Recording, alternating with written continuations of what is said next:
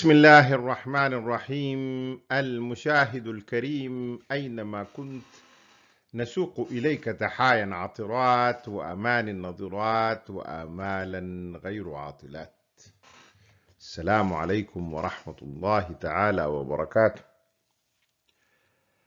من خلال برنامجكم رأي الغلابة نطل عليكم هذه المرة لنستدعي حدثا مر عليه ثلاثة أيام أو أربعة أو بضع أيام.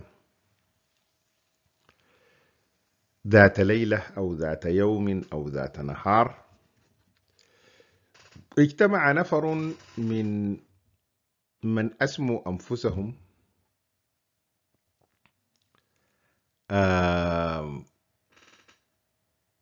ميليشيا دعم الوطن. وعقدوا مؤتمرا صحفيا وقالوا أو أعلنوا فيه أنهم بصدد تكوين ميليشيا عسكرية الغرض منها الغرض الأساسي منها إنه تحفظ التوازن مع القوات قوات الحركات المسلحة اللي موزعة في الولايات. هكذا ضربة لازم قاموا ناس في في الخرطوم ما في طرف المدينة ما في الطرف.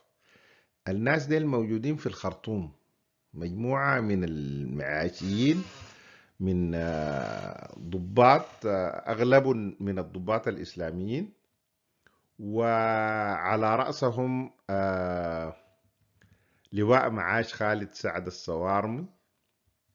وأعلنوا كده إنه هذه القوات أو هذه الميليشيا التي تسمى أو سموها دعم الوطن برئاسة اللواء محمد رحمة الاجتماع ذاته كان في مركز الحاكم للخدمات الصحفية وعشان تعمل اجتماع زي ده أو مؤتمر صحفي بهذا المعنى فهذا بالضرورة يحتاج إلى إذن من الجهات الرسمية وبالتالي لا يمكن أن يكون هذه المسألة عملت بدون أخذ الإذن من الجهات الرسمية عشان تتعمل وفي مؤتمرهم الصحفي أعلنوا إنهم عندهم 28 هدف. أهم هدف لهم هو إلغاء اتفاقية جوبا والتمسك بوطنية القوات المسلحة.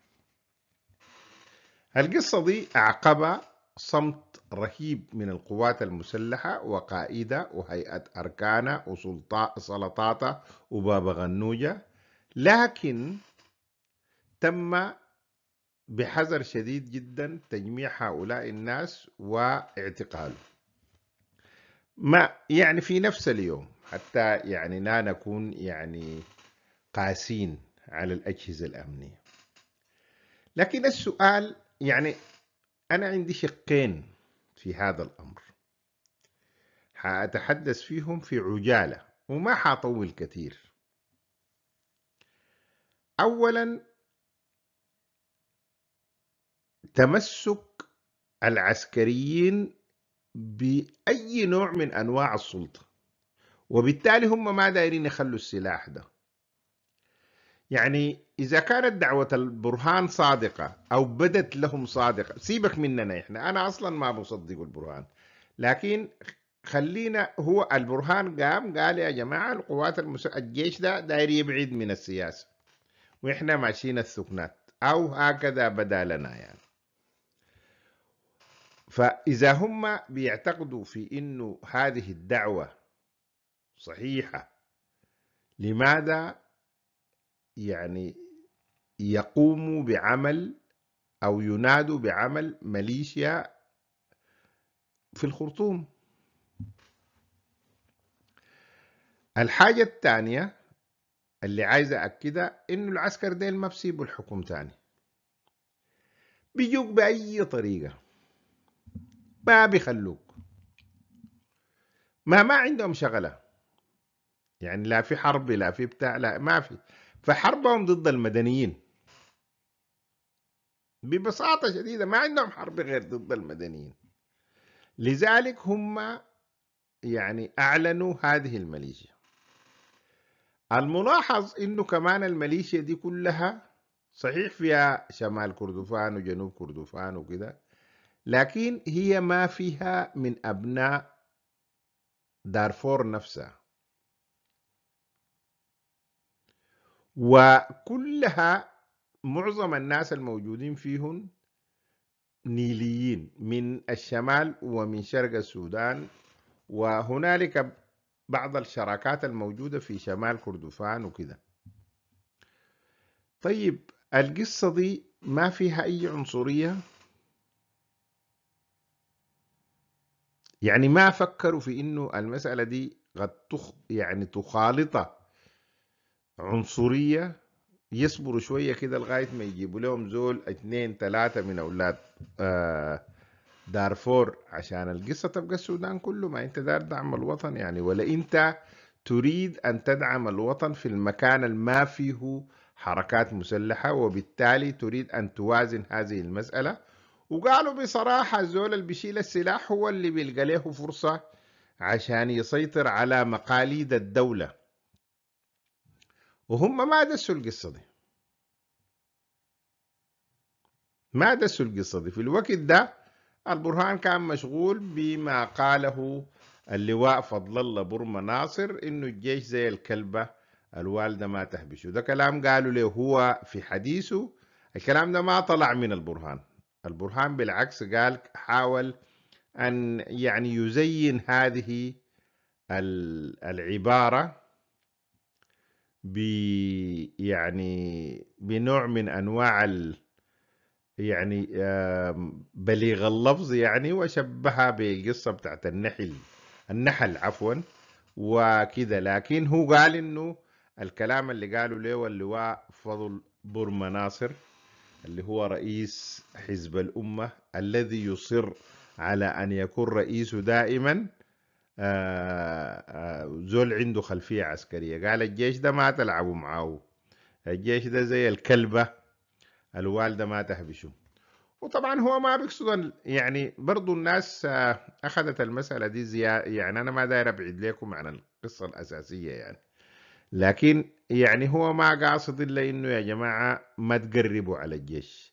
قصة الريفورم وإعادة التكوين وإعادة تأهيل الجيش والعقيدة والكلام اللي بيقولوه الملكيين ده ما دايرين نسمعه. يا جماعة إحنا أحسن ما تقربوا علينا. الكلام ده المقصود بالمدنيين طبعا. إنتوا يا المدنيين عليكم الله يعني ده رقيصا إنتوا ما عندكم له شعر. أو ما عندكم لرقبة. فابعدوا من الجيش. ده كأنه الجيش ده فصيل كده قام نبت شيطاني يعني. ما يعني أنا مثلا الزول المدني ده دافع الضرائب ده أو أو أنت أو غيره ما قاعدين ندفع مرتبات الجيش. وكأنه الناس اللي في الجيش ده جو من برا ما أولادنا. يعني بعيدا من إنهم إسلاميين كاش قاشهم ما كاربين قاشهم. كلهم هم أولادنا في النهاية. وفصيل من الف... زي الدكتور القاعد في المستشفى ده بياخد راتبه من من من من ال... من البند هنا. يعني من وين بيجيبوا قروش يعني أصلا؟ يعني منو اللي بيدربكم؟ منو اللي بيدفع قروش التدريب دي؟ ما الشعب السوداني ده لكن معلش على أي حال ده فهمون وهم ما بيزحوا. ده ده دليل. يعني كل ما أنت تفتح نفاج أو محاولة فتح نفاج عشان يجي حكم مدني هم بيسدوا لك. والقصة دي يستحيل تكون المخابرات ما كانت عارفة. ويستحيل الاستخبارات العسكرية ما تكون عارفة ويستحيل إنه يكون خلوها تطلع للعلن غفلة. هاي صح لمون ودخلوهم السجن أو اعتقلوهم أو قالوا إنهم عملوا كده لكن ده ما معناها إنهم هم ما كانوا عارفين. القصة إنه هم يفتحوا لك نفاج من هنا يعني زي القصة الجزرة وال وال وال والهنا يعني. والعصا. يدوك به هنا. نحن ما عايزين لكن عندنا الصوارمي.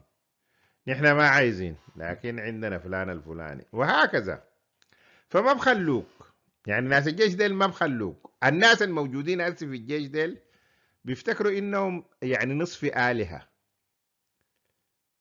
الملكيين ديل ما عندهم حاجة. يعملوا يقوموا. هسه من الناس ديل قالوا لهم إحنا موافقين على إنه يكون عندهم ميليشيا بتاع الدعم يعني. ما في. لكن هو بيفرضها عليك كده يعني. الكلام ده طبعا ما بعيد عن آه الخطة با وسي آه وجيم وسي وكده بتاعت ال ال ال الكيزان يعني. وتزامن الإعلان بعد تحذيرات البرهان. للأخوان أو لل للإسلاميين آه دي دعوة لإنقلاب أو عمل دموي قريب جدا وممكن أن نراه في الخرطوم. الكلام اللي بيحصل ده يعني. وما تنسوا طبعا زمان انقلاب ال ال ال الزبير اللي قام به قبل أسبوع من انقلاب عمر البشير وكذا. ما الناس ما بتنسى الحاجات دي يعني. لكن إحنا دايرين نقول للمدنيين بشكل عام احذروا احذروا احذروا الجيش وما تنوموا على إنهم وقعوا. مش الجيش كمؤسسة لكن المجموعة الموجودة في الجيش دي ما فيها خبر ما عندها ما عندها ما عندها نية لترك الأمر وما عندها نية أصلا للبعد. ولا لتسليم سلطة وكذابين كلهم كلام فارغ بيدخل من هنا ويمرق من هنا. أنتوا بتتكلموا معاهم وهم بيمضوا. كل القصة ما دايرين يواجهوا المجتمع الدولي وبيستعملوكم درجة سيدو بس. دركسيدو بس هم بيستعملوكم كده. فيعني تبينوا موقع خطاكم ومع من تتحدثوا وتتكلموا. وسيبونا من إنه والله تلمسنا إنه دي الناس وطنيين. الناس الوطنيين ديل دخلتوهم السجن. هسي الليلة وجدي قاعد في السجن. ما تبع الناس ديل يعني. مع ناس كل يوم بتدخلوهم السجن وشلتوهم دخلتوهم السجن وشلتوا رئيس وزراء ودخلتوا السجن وده كله عملتوه يعني. ما ما قصرتوا معاهم يعني. بس بقوا وطنيين هسي زمان لما قالوا يا جماعة هبوا إلى نصرة آه، ثورتكم. ما كانوا وطنيين يعني كانوا بينادوا منه يعني؟ هب زعلتكم؟ ما زعلتكم الكلمة دي؟ هبوا إلى آه، هنا وقعدتوا تتزبدوا بتاع آه، يهبوا ضدنا ويعملوا القصة دي ضدنا وإحنا بقولوا لنا كده وإحنا يا أخي غلبنا النسوي معاكم وكده وقمتوا ب 25 ولاسي لاسي آخر لقاء البرهان بيقول إن دي إصلاح. ال 25 أكتوبر دي بيقول عليها إخلاص إصلاح. مسختوا لنا أكتوبر ذاته يعني. على أي حال أنا يعني آه لا أثق أبدا في ما يقوله الجيش الحالي أو القيادة بتاعت الجيش الحالية القوات المسلحة هي فصيل سوداني آه يجب أن آه تكون وطنية وبعيدة عن الأدلجة ولا بد من إعادة ترتيبها. يا جماعة إعادة الترتيب ده وإعادة أو الريفورمينج ده ما فيه إساءة عليها. وما في زول قال فنيا في زول فني في مدني فن بيقدر فنيا يقول والله مفروض نشتري السلاح ده ما نشتري السلاح ده. ولا فنيا يقول التدريب يكون شكله كده ولا فنيا يقول دي مسائل بيعملوها العسكريين. وعندها علماء في العسكريين موجودين في السودان وفي خارج السودان.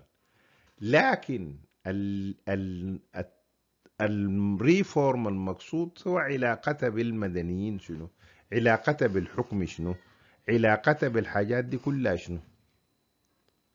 دي مسائل مهمة جدا يجب التعامل معها على هذا الأساس.